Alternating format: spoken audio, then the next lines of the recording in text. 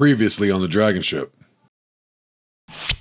And you know what? Speaking of Hafeez, you know, um, Hafeez and Ruslan, you know, let's just kind of label them the the Bible pill, right? You know, um, uh, the I would say the old Tradcon Bible pill. people are.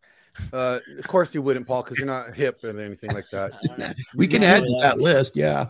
We'll, we'll add Paul to that list now. Um, No. no, I'm kidding. Um, you know, these guys came out. Uh, Glenn, you're in that category, right? Oh yeah, oh yeah. I definitely kind of fall into the Bible pill, like you know, the biblical worldview. Um, uh, but um, Hafeez and you know Ruslan come from a very traditional religious biblical background, um, very purple pillish. And Hafeez is known for coming out or starting off with uh, what was it called? The um, The roommates, the roommates podcast, right? Oh, that which he still do. Yeah, I do know that. Yeah, still that does it. Yeah. Yeah, he still does it. Oh, okay, I didn't know if he Yeah. did it or he went solo now. No, as far Um, as I can tell, that channel is still active with at least a couple of the members. Okay. Cool. Um, so he kind of started out and doing a kind of red pillish kind of thing there. And then uh he kind of pivoted and went like straight anti-red pill and um start, you know, uh making a whole lot of you know anti red pill comments and talking about how the red pill's bad and you know him and Ruslan kind of teamed up together and they did a couple streams about how the red pill's bad or whatever. Um and you know, Ruslan ended up debating Rollo on Saucecast uh, uh, last year as well. But what are these guys going to do by the end of this year? Do you think they're still going to be that you know the anti-red pill force? You know, are they going to pivot, or do you guys kind of think that you know either either the red pill people are just going to shut them out, or are they going to you know do something else? Well, I'm going to go on Hafeez. Hafeez can speak for hours and say absolutely nothing. The level of confident ignorance with the coupled with the need to be right, he reminds me a lot of Oswald Bates from Mad TV, who can say a lot of nothing and get a lot of emotion stirred up, and nothing is actually said. And he has chosen the red pill to be his oppressor, bad guy and to say it is dangerous. Not only to say it's dangerous, but to come out and say it's extremely dangerous, and that we should all be giving men uh, instruction, actual prescriptions on how to be better husbands and fathers. He goes on that line, which the other religious guys do. You're going to talk about, which is that everything is men's fault 100% because men, much like Jordan Peterson said with the Lost Boys, this is all your fault, and you're just not being men enough. That's it. That's the whole thing. Now, when it comes to his prescriptions, it's basically do what I say, not what I do. And what I say really is a bunch of container words, which you're supposed to figure out and run your life that way. That's my thought on him. He will continue to do so because there are men that really want to be emotionally riled, kind of, you know, get riled up like that, and then have somebody tell them to charge the hill. So I Yeah. think continue. I think it's actually going to get much worse in 2023 as traditional conservatives really don't like some of the aspects, the harder aspects of RP because it calls out the fallacies with their fantasies and how they've lived their lives. Can I Oh, comment yes. on that?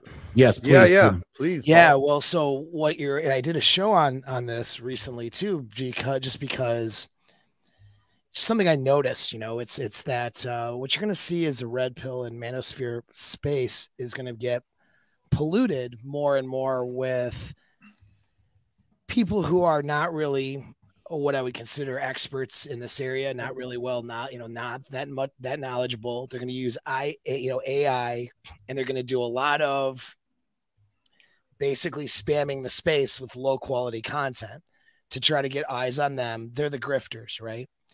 You're going to have a lot more grifters that realize that they might be able to get some sort of viewership and maybe some sort of money out of the space, out of using Manosphere, using Red Pill. And so as you get more of that, it becomes easier for guys like that to build a brand counteracting the straw man that those people create, right? Because they're competing with each other on sensationalized comments, not things that are actually practical and that things that a guy can use in action in his life. but things that are more designed to be divisive.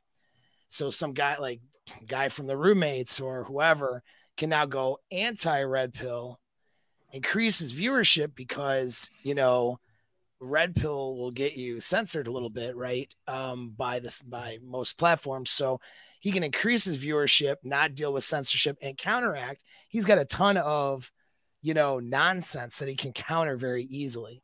Things taken out of context, right? Things that principles that are put out from the red pill people that are good that maybe get bastardized, you know, and used in the wrong context and used in the wrong way and and used for for sensationalized statements. Right. So so that's so you're right. I agree with you, Thor. That's what's gonna happen.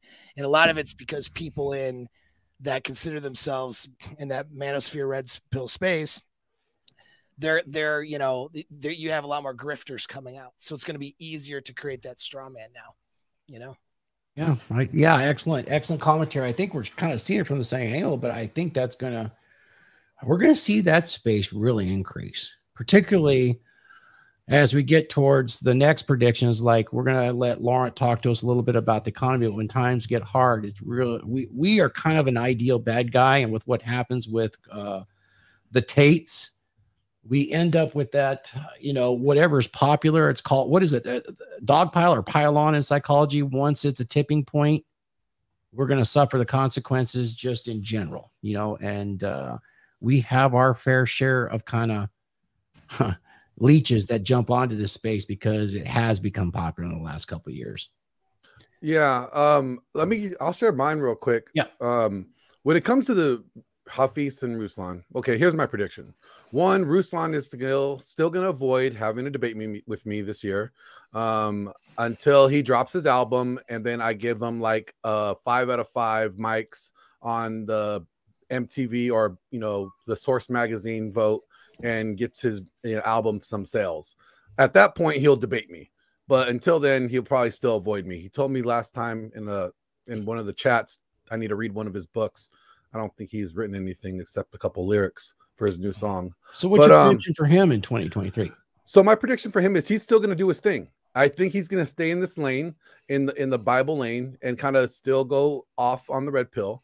Um, and the same thing with Hafeez. Uh, I think Hafeez is going to tend to go more political though, as uh as um the election season starts to drive up. I see him going more political tradcon, speaking on those topics um, more than we than he does now.